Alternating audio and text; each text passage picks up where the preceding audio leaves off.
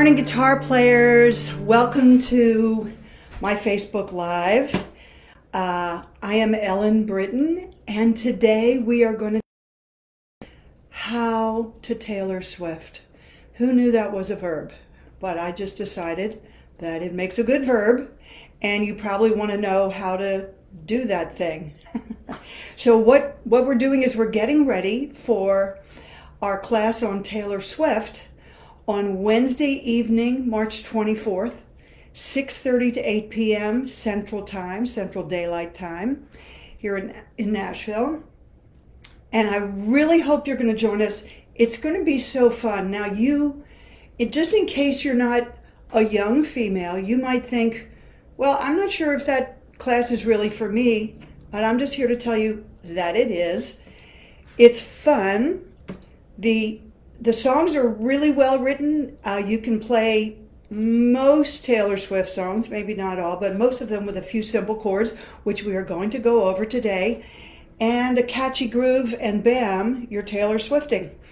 so, uh, today we're just going to kind of give you a little head start on what you need for the class. Um, we have all kinds of people who are, are going to be joining the class, um, all ages all kinds of musical tastes. If you like catchy songs, that's reason enough to join us. I, and in the description, I'm actually going to sell, and they are what I think they are.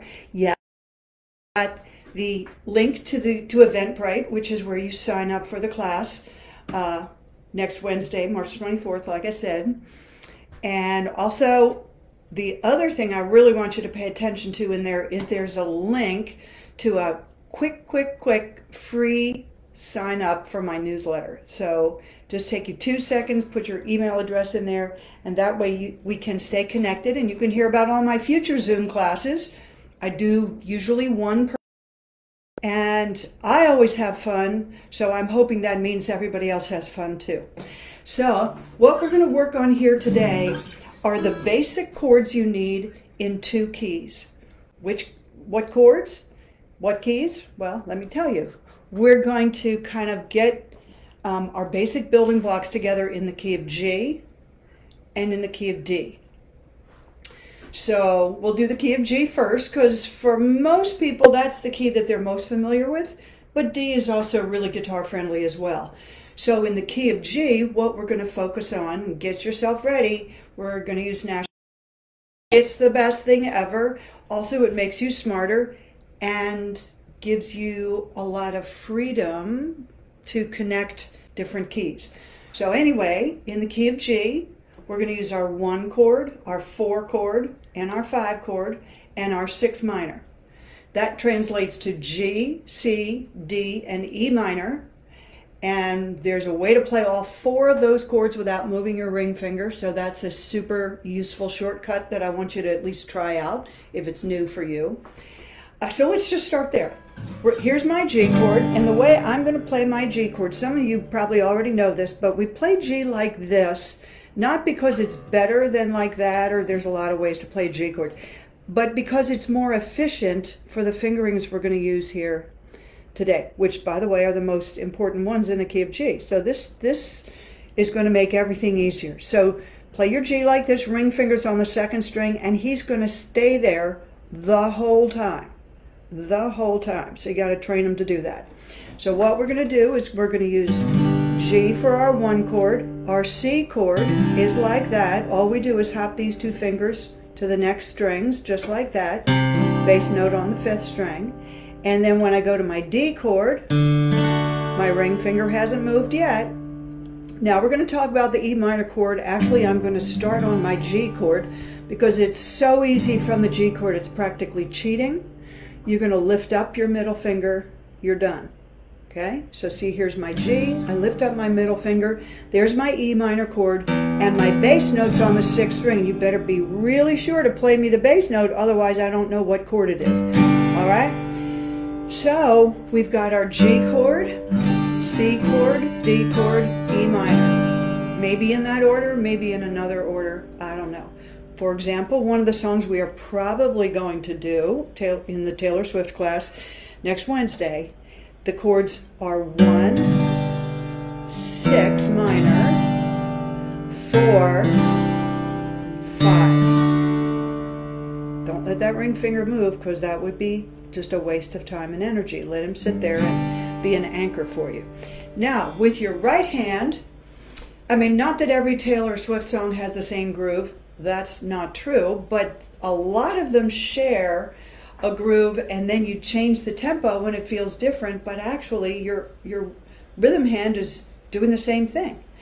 And the big idea here is that we play the bass note twice before we do anything else. Okay, so here with my G chord, my bass note's on the sixth string, so I'm going to go bass, bass, bass, bass, strum. That is the basic version of the strum. Now we can kind of fancy it up in little ways, but we're not going to worry about that now.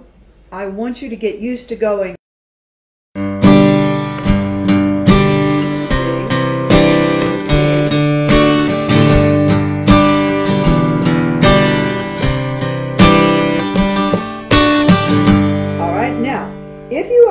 Know that or you've been playing for a while and you're ready to maybe tweak it a little bit, you can add a little filler after that big strum. So you can go bass, bass, strum. You hear that little, I say chicka because that just is what it sounds like to my ear. Bass, bass, strum, chicka.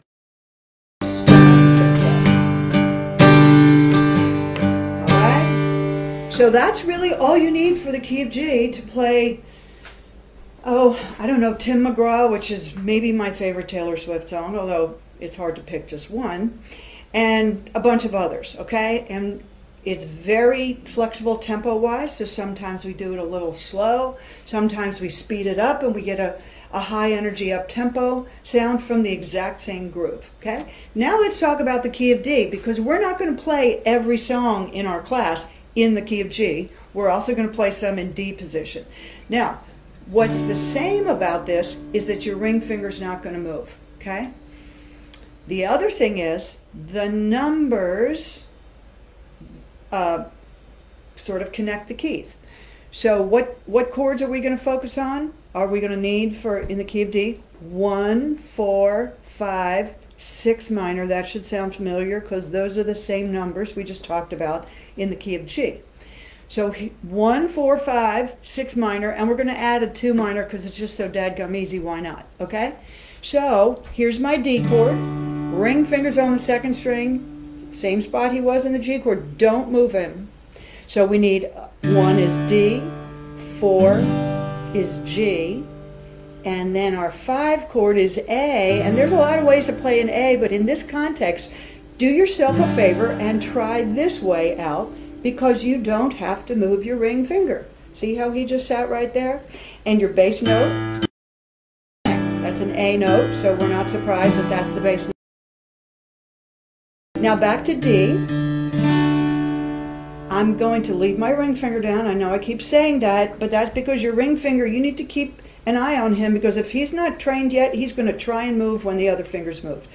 Take these other two fingers and move them guitar players would say down, even though I just moved them toward the ceiling, but the sound goes down. That's why we call it down. So my index finger's on the fifth string, my middle finger's on the third, and my bass note's on the fifth string. That's my B minor. So that's my six minor in the key of D. Watch this. I'm going to pick up my middle finger and move my bass note, this is critical, to the sixth string, which is an E note, and that is a super easy, fast, shortcutish way to play an E minor, which is two minor in the key of D. So look at all the stuff we have. Holy cow, there's a million, trillion, zillion things we can do, and not just Taylor Swift either. By the way, she did not invent these chords. Uh, so we all we all use these chords all day long. Um, it's just kind of amazing how, with these simple chords and a catchy groove, suddenly you feel like you're Taylor Swift. Okay, which is kind of fun. So anyway, I hope you you all join me next Wednesday, March 24th, 6:30 to 8 p.m. The link to sign up and get more info is right there in the description. And uh, also be sure that you're signed up for my free monthly newsletter. And I hope I see you next Wednesday. Meanwhile, stay in the groove, of course.